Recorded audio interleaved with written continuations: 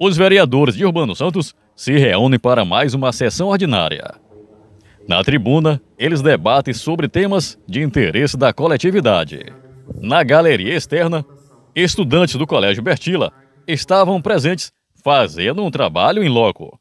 O professor Wilson Souza falou com a TV Outro Nível. Acompanhe.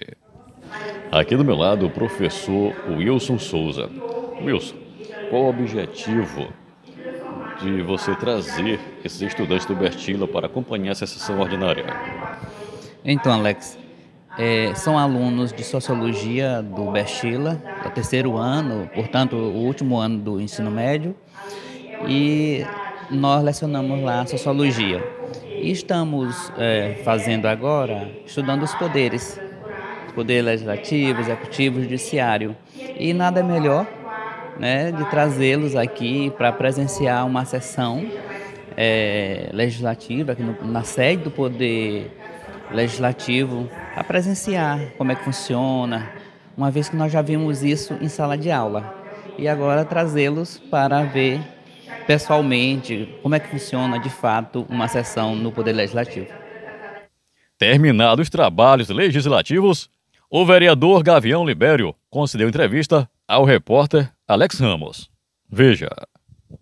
Após o término da sessão ordinária desta sexta-feira, dia 22, vamos conversar agora com o vereador Gavião Libério, um dos mais presentes e atuantes do Parlamento Municipal. Então, eu queria que o senhor falasse acerca das matérias que foram apresentadas, que o senhor faz parte, as indicações em conjunto.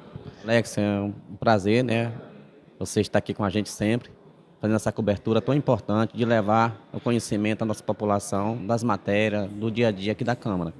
E hoje é, teve várias matérias, projeto de legislativo de autoria do, do vereador Tomás, que aprova minha primeira votação, e as duas indicações em conjunto.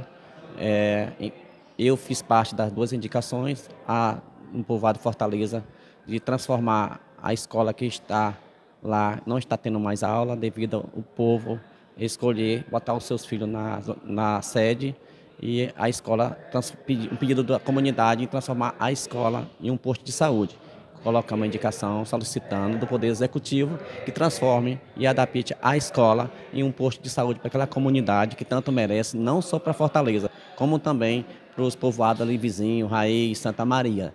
E a outra indicação, em conjunto com o vereador Totó, com o vereador Ednilson Moura, vereador Jubenilton, um campo de futebol padrão que nós tem na zona rural, os campos de futebol padrões, e o povoado Cajazeira sempre nos procura, sempre reivindica, e nós estamos lutando por um campo adequado, um campo com segurança, ali para o polo Cajazeira, que os desportistas praticar a arte do esporte.